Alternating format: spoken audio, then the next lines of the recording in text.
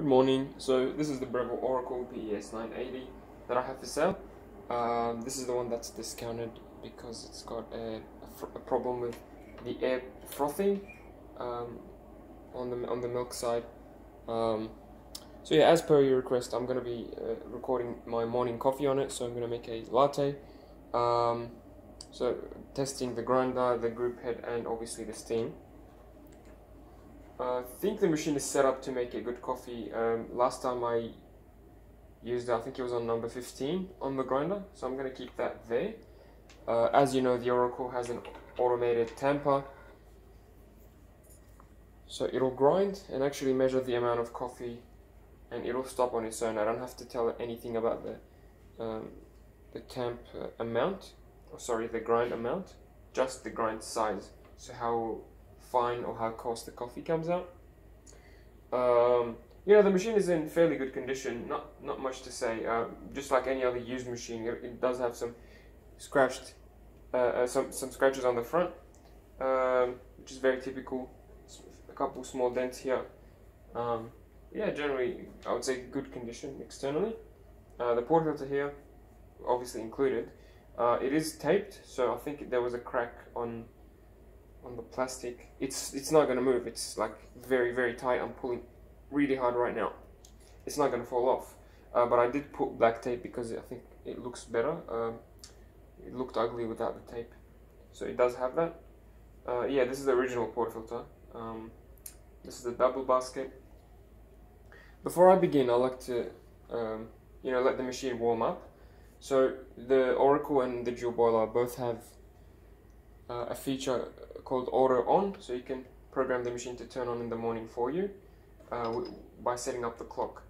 Um, so if you don't use this feature you have to turn it on and wait five minutes which is what I was doing now. I was waiting for it to warm up to 93 um, but with the auto on you can program it to turn on at like let's say 8 a.m and it's ready to go um, when you're awake. Um, so if you let the machine on for like 5-10 minutes it'll be, it'll be nice and hot. Um, if you're in a hurry, you can you can turn it on and run a blank shot. And a blank shot is just hot water through the handle into the cup, no coffee, uh, just to, like I said, to warm things up. Um, and if there's any coffee or oils, coffee oils up up there, this step will also clean it. So I think it's nice to do.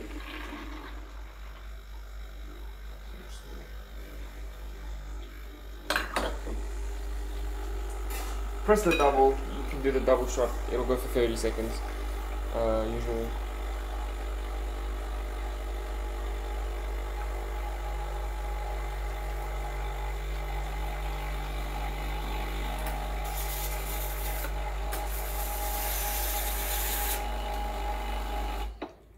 Yeah. Water's pretty clear, so the machine is not too dirty. Um, yeah, steam works no issues with the actual steam output. It's just that the, the air pump, uh, I think, has has has trouble uh, with putting air into the milk. Uh, like if if I were to use this on the automatic setting, so you press down for automatic. If I were to press the automatic setting uh, and make my milk on the automatic setting, even with the maximum froth, it's still fairly flat. It's flat milk. It, it doesn't have a lot of foam on it. So you push it up you want to use the manual mode. So you can just get your milk jug. Just like a barista would do on a manual machine in the cafe. You just have to froth it manually. Which works just as well like any, like my, my personal machine has a manual frother here. And it works fine. Um, it's just that it's less automated. And that's why it's been significantly discounted. Otherwise the machine is pretty much, I think it's a bargain for, you know, if you were to buy a dual boiler for $700 and a smart grinder pro for $200, that's $900 already just for the machine and grinder. And this this Oracle also adds a tamper distribution tool and also adds um, the thermometer on the milk jug. So I think for what I'm selling it at, at I think it's a bargain. But anyway, um, let's make a coffee. So my cup is nice and hot now.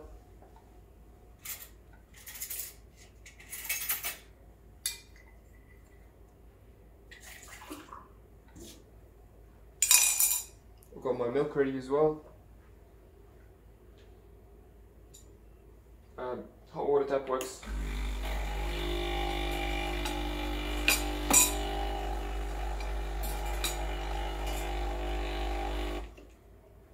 Yeah, I like to add a little bit of hot water to the bottom of my cup uh, because I add sugar to my coffee and with the hot water it dissolves better I feel so I do that every day.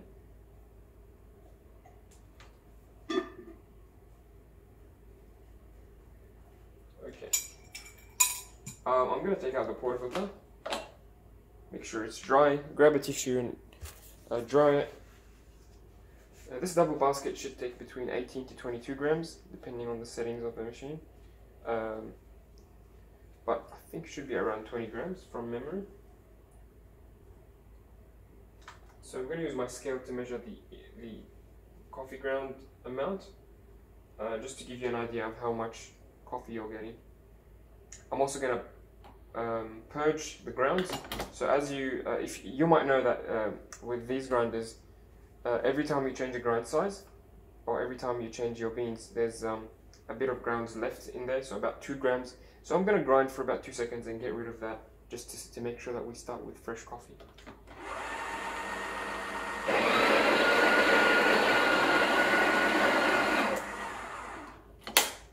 So yeah, uh, always remember to change the grind size while the grinder is grinding, number one. And number two, um, after that, purge and get rid of the old coffee beans. Okay. So now we're starting fresh. Uh, I'm using the Lavazza beans, not the best beans in the world, but they do their job for me.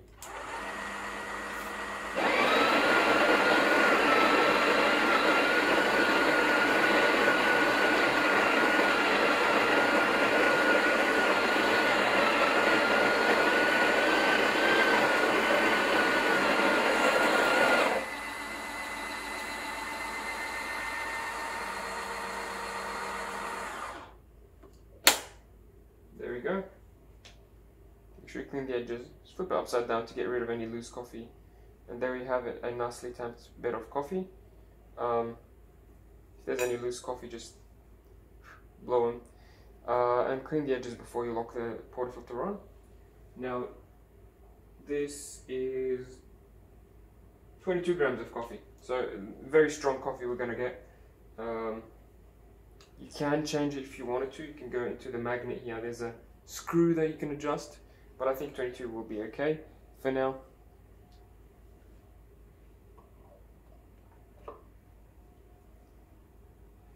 Let's see how we go. So lock it, lock it in to the middle. You don't have to go all the way to the right.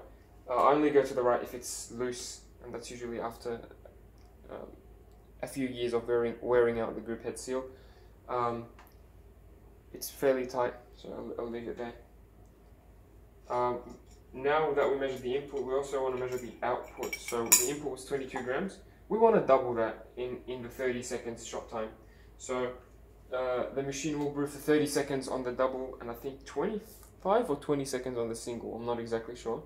So you can change those in the menus, but this is the standard, 30 seconds. So in 30 seconds, I'm hoping to get double of what I put in. So double of 22 is 44.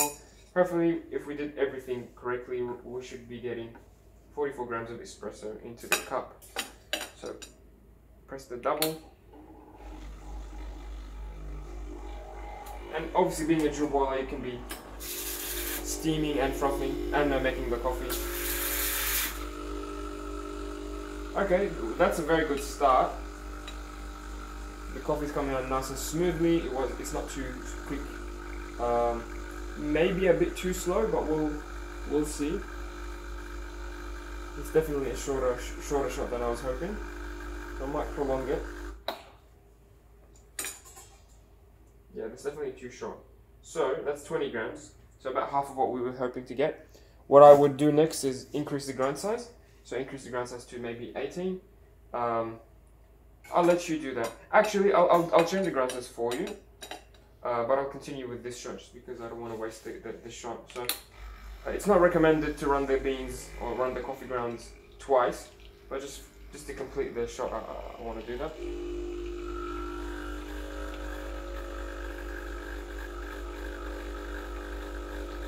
there we go. Yeah, so if I were to do, let's say, grind size 18, this would have been a quicker shot. So that's 42 grams, perfect. This is what 42 grams looks like. This much. So yeah, we have some crema. Smells really nice. Probably not the best shot because we had to run it twice. And usually when you do that, the coffee surface is disrupted and it's not recommended to run it twice. But yeah, um, now you know what to do. So I'm just going to clean it for you. Uh, and, and change the grind size for you.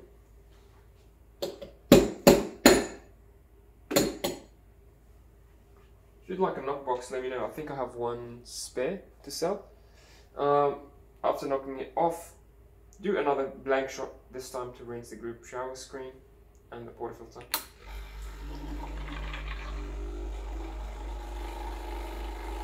Make sure you do this as soon as you can so that the coffee doesn't dry.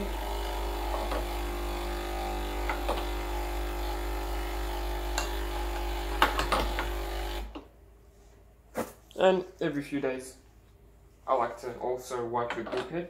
Uh, there's, there's always going to be a bit of coffee grounds left, uh, maybe a bit of oils as well. So wipe it as, as frequently as you can, I think. Even if you do that every coffee, that's fine. And I'm just going to lock it in here. You don't have to lock it in all the way if you're not making coffee. So just like that. You don't want to go all the way. Uh, next, the milk. So, yeah, I'm not going to be using the automatic setting because I've already told you uh, it's not working. Uh, the temperature is working though, so you can put it on 60 uh, and steam it.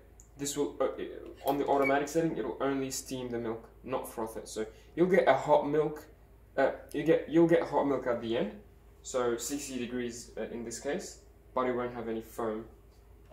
I'm going to use the manual setting and just lift it up and lift the lever up as well, that's going to engage manual setting, you can still see the temperature of the milk as you're steaming uh, on the manual setting. So that's very handy. You can take a look at the screen and know that you're at the right temperature. So I'm going to froth it just like this at an angle, keeping the tip close to the surface of the milk and hopefully trying to spin the milk. Uh, and as it spins, we'll be getting uh, a bit of foam.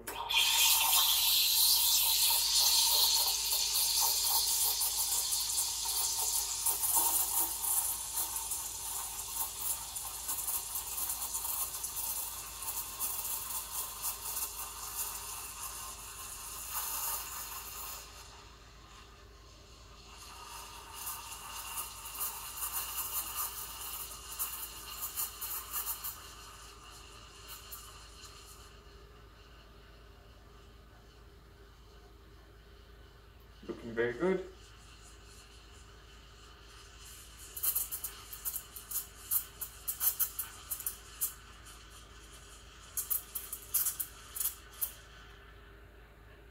That's 55 degrees. I'm going to stop it there.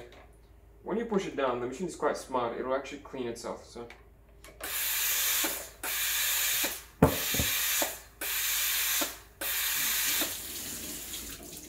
very important, after you're done, after the machine purges itself, grab a wet towel and wipe it straight away. You don't want the milk to build up.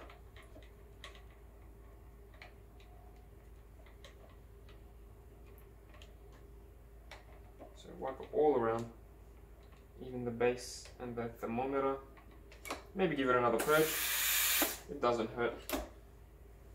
And yeah, that's a coffee on the Breville Oracle using the manual frothing mode. Um, show you how to get the smoothest milk that you can. So here's the jug, I'm going to knock it on the counter to break any air bubbles. I'm going to swirl it around to mix it up. Do this a few times until the surface is nice and shiny.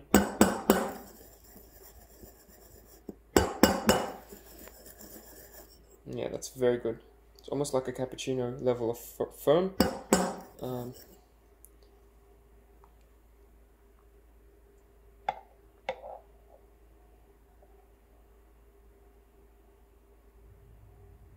yeah, I'm not a barista and I don't usually do latte art but with some practice, you can definitely get latte out, out of this machine, um, especially in manual mode. Let me show you the result. Here's the cup of coffee that I just made. And there's a bit of uh, milk left for the cat. uh, yeah, so very nice colors, good amount of foam, and I'm sure it's a delicious cup. Uh, I'm sure you'll be able to do even better coffees with this machine uh, after some practice. I uh, hope you like it, and if you have any questions, please don't hesitate. And thanks for watching.